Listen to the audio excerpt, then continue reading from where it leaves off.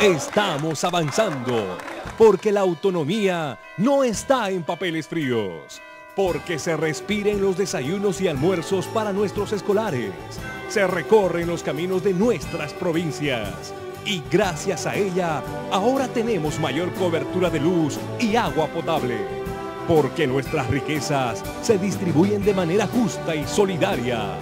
El 4 de mayo iniciamos un camino que no tiene marcha atrás. Sigamos avanzando hacia una Bolivia autonómica.